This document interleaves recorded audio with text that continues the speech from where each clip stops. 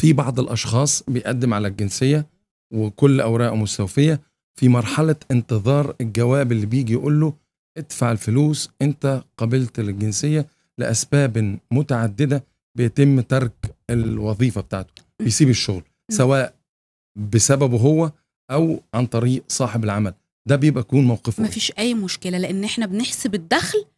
قبل التقديم بثلاث سنين على آخر ثلاث سنين يعني لو أنا قدمت على الجنسية دلوقتي وسبت الشغل مفيش أي مشكلة. أهم شيء ما أكونش باخد Sozial أكون باخد آه من ال AMS. آه يعني كده ده بالنسبة له مفيش أي يكمل مشكلة. عادي وهيبعتوا عادي عادي. آه و- مفيش مشكلة. ويستلم الجنسية وهو مش شغال عادي جدا. آه اتكلمنا المرة اللي فاتت على آه إمتى بتتسحب الجنسية النمساوية؟ وقلنا من ضمن أو أهم الأسباب إن الشخص يسترد جنسيته الأم في حالة أو ياخد جنسية دولة أخرى. في نقطة تاني بقى.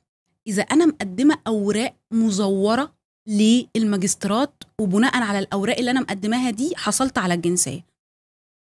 مثلا شهادة اللغة. هي ورقة مزورة. واكتشفوا بعدين.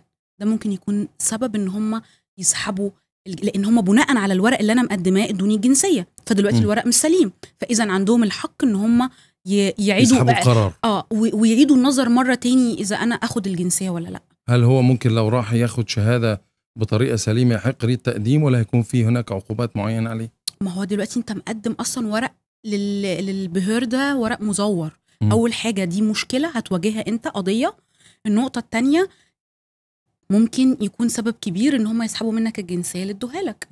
تمام آه بس ده بالنسبة له يبقى الموضوع ده كده انتهى يعني آه بتبقى طبعا مشكلة كبيرة. لو طيب. تقدم اي أي أوراق مزورة أنت بتقدمها لأي سلطة دي بتبقى مشكلة تمام؟ آه في نقطة تاني عندنا كمان مهمة جدا. في بعض الأشخاص لما بيجي بيقدم لجوء بيدي بيانات ليه خطأ. مم. اسمه اسم العيلة تاريخ الميلاد أو مش في بس كده في أكتر دي أنا شفتها عند العراقيين بي بيدي اسم القبيلة بتاعته وده غير الاسم اللي هو مسجل في آه، شهادة الميلاد وفي جواز السفر. وبيقول إيه مش مهم. خلاص مم. أنا خدت الاسم ده. أو هو بيكون اوريدي موجود في آه، آه، أخد الإقامة أو واخد اللجوء وهنا هم كاتبين اسمه غلط أو تاريخ ميلاده غلط. وبيقول مش مشكلة. دي بتواجهه مشكلة بعدين لما بيجي بيقدم على الجنسية. فأنا نصيحتي للناس من فضلك لو عندك أي بيانات غلط اولا ما تقدموش أي بيانات غلط لأنها هتعيقك في الجنسية بعدين. نعم. لما تيجي تجيب أوراق أنت من بلدك هيقارن ده بده وإذا في خطأ هتتعب. أنا في ناس عندي تعبانة جدا. لمجرد يعني وقت طويل إحنا نحاول نصلح البيانات الخطأ اللي مكتوبة. عشان نقدر نقدم على الجنسية بطريقة صحيحة. طيب. فأي حد عنده أخطاء لازم يخلي باله منها ويصححها عشان دي هتعيقه في الجنسية في المستقبل. التزوير لا والأخطاء لا. أي حاجة أنت بتعملها بتأثر هنا على الجنسية. غرامات السيارة اللي إحنا المفروض نتكلم فيها تاني النهارده نوضح بعض النقاط للناس. غرامات السيارة آه، القضايا الجنائية وفي بعض القضايا الجنائيه متصنفة هي قضايا خطيرة جدا. آه، بتأثر على الجنسية لوقت طويل. آه آه طبعا لازم يجيب الملف الجنائي بتاعه. برضو موضوع هو ارتكب الجريمة إمتى؟ بتفرق. براءة. ما هي في نقطة. دي. بقى نقطة مهمة جدا للجنسية. ناس بيطلع بريء. بس دي برضو حتى لو طلع بريء ممكن تأثر على الجنسية وتكون سبب إن هو ما ياخدش الجنسية. يعني هو المهم حساسيات الحكم. حساسيات إيه الحكم السبب؟ مم. هي وجهة نظر القاضي و أو موظف الماجسترات هي الشخص دوت مثلا الشخص ده كان في مشاجرة تمام؟ في المشاجرة ضرب فلان وطلعوا الاثنين ده طلع بريء وده طلع بريء.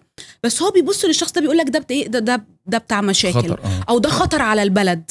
فاذا هو بيعتبر إن الشخص ده خطر فيقول لك إيه لا آه، ما يستاهلش ما يستاهلش دلوقتي حتى لو خد براءة إن هو يحصل على الجنسية. سيبوه شوية. فاذا كل شيء حتى لو طلعت بريء منه بيأثر. تعرف. زي إيه؟ كمان دي حاجة بتجيلي كتير وأسئلة كتير. في ناس من الحلقة اللي فاتت أو حتى هي مقدمة على ال- الجنسية مش قادرة تستوعب إن الاشترافات بتاعت السيارة بتأثر. بتأثر جدا تمام؟ فالاشترافات بتاعت السيارات بتأثر. آه، في بعض الاشترافات اشترافة البرك هي مش خطيرة قوي زي السرعة وزي كسر الإشارة وزي اشترافات تانية كتير عشان ما نعدش. أو مثلا ابنك قاعد مش لابس الحزام أو مش حاطه على الكرسي الصحيح دي طبعا حاجات كبيرة تعتبر كبيرة.